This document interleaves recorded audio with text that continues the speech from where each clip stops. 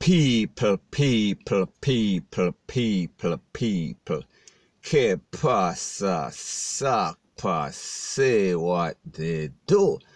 Now, people, this video is called What a Difference Miss Universe versus Miss World makes. What a difference in the result. We are speaking about Iana Garcia, Miss Universe versus Toni Ann Singh, Miss World 2019. Now, people, this is a big accomplishment for Jamaica because it is the fourth time in which a Jamaican lady has won this pageant we are talking about Miss World. We are speaking about Lisa Hanna in 1993, and we know that presently she is a member of parliament. We are speaking about Carole Joan Crawford, we are speaking about in 1963, and we are also speaking about Cindy Breakspear. We are speaking about in 1976. And you know that Cindy Breakspear is the mother of Junior Gong Marley. We are speaking about a girlfriend or a wife or baby mother of Bob Marley, the legendary reggae artist. Now, people, what makes this win so impressive is that this lady we are talking about, Toni Ann Singh, she has brains, she has talent. She has bass. And when I talk about bass, me I talk about a banging body.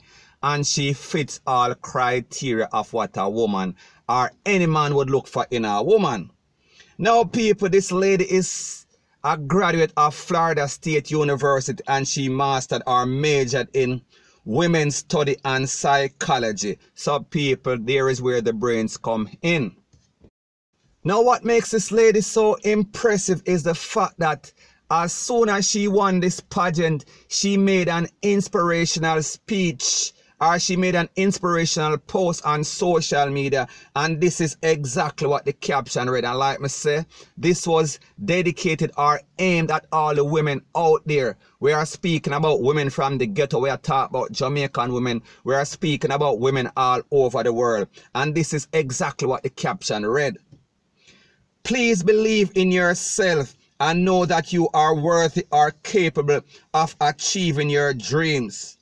Now, people, let me ask you a question. It shows that she is a selfless person. It shows that she is trying to inspire other youths out there, other women out there. And like me say, she masters in women's study at the University of Florida or Florida State University. Sorry. So we are talking about a lady that has her goals.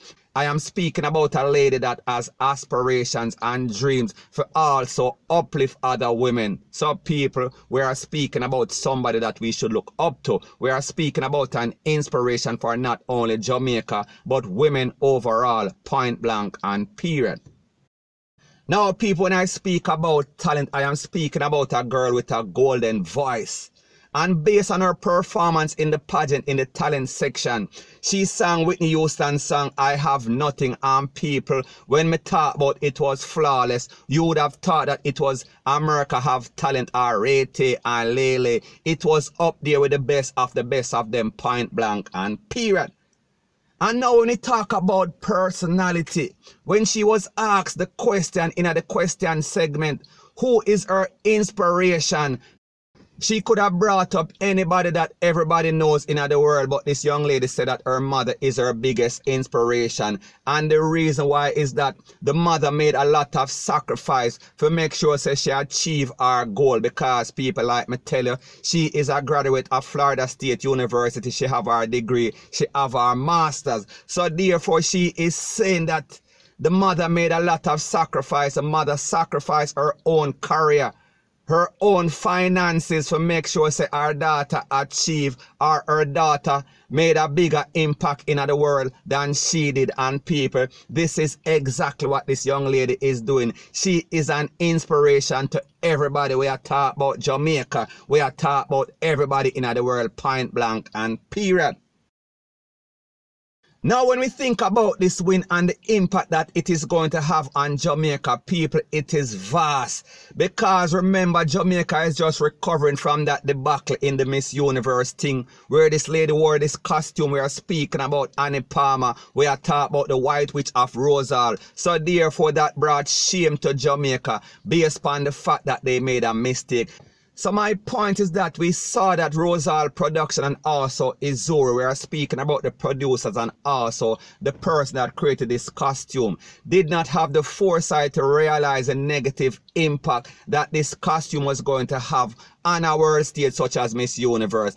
So people, the moral of the story is that by Toni Ann Singh winning Miss World competition, she brought back some pride, she brought back some dignity to Jamaica. She basically did some damage control for what was done by Miss Universe point blank and period. And people, we saw that she was getting congratulations from the Prime Minister of Jamaica. Me I talk about Andrew Holness. I am speaking about the opposition minister. I am speaking about Peter Phillips. And I am also speaking about Babsy Grange, who is in charge of entertainment Rete and Lele for Jamaica because them realize the impact that it is going to have. And also the tourist minister also chimed in and basically congratulate her. And what this competition proves is that Jamaica is a set of beautiful people and it has the most beautiful women in the world. And I am not just talking about beauty, I am speaking about talent. I am speaking about we are a set of persons that are inspiration. We are an inspiration to the world. And also, based on what is going on in Jamaica right now with all the C-R-I-M-E and Rete and Lele, it is good to restore pride. It is good to make people feel good once again, even in a some bad situation. Some people, we are speaking about inspiration. We are speaking about this is putting a smile on the faces of Jamaica, even in a some desolate time, point blank and period. So anyways, people, that is my views on the whole thing as it pertains to that. And like me say, it is just my views and opinion. It is not the gospel. Your views and opinion can be respectfully different from mine. But let me know what you think in the comment section. Bless up. So the next thing that is popping in the news is that little controversy and drama as it pertains to Miss Jamaica Universe and that costume that she wore at the pageant. Kind of promoting Annie Palmer, we are speaking about the White Witch of Rose Hall. But people, if we understand exactly what happened, this is the reason why. This costume was sponsored by Rose Hall Development. We are speaking about the Rollins family from the United States we are speaking about some wealthy purses. Now, people, we have to understand that when people are sponsoring you, they are putting themselves first. They are not putting Jamaica first. They are not putting the situation as it pertains to Jamaica and the slavery and the issue of things that happened in the past. So in other words, they are putting themselves, they are putting their company above brand Jamaica people. It is all about being selfish.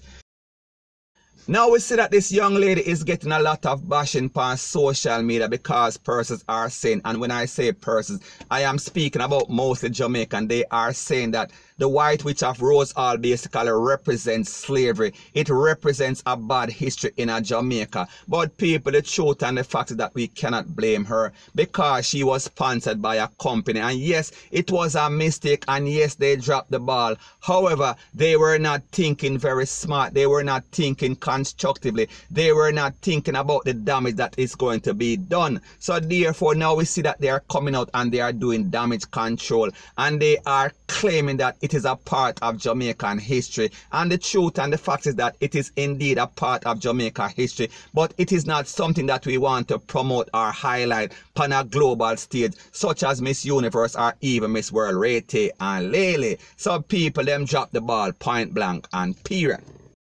So when we consider exactly what happened, we see that these persons were insensitive and should have realized that this was going to offend Jamaican. But people like me say, when it comes to some persons of privilege, because of their status in society, they feel like they can do just about everything. And like me say, they are putting themselves first. They are not putting Jamaica first because more than likely these persons, we are speaking about the Rollins family, they are some rich person that kind of feel entitled. And you know that when it pertains to people that are entitled, they feel like they can do just about everything because like the saying goes, money talk and BS walk. So therefore, if them have money, they feel like they have the privilege to do whatever they so choose, point blank and period. And people don't get it twisted, don't get it misconstrued. The White Witch of Rose Hall we are speaking about Annie Palmer is in the history of Jamaica. So therefore you cannot erase it. However, when you think about the bitter taste that it leaves in the mouth of Jamaican, we are speaking about as it pertains to the transatlantic slave trade. People, it is not a very good look. This is not something that we should have promoted. This is not something that we should have overlooked.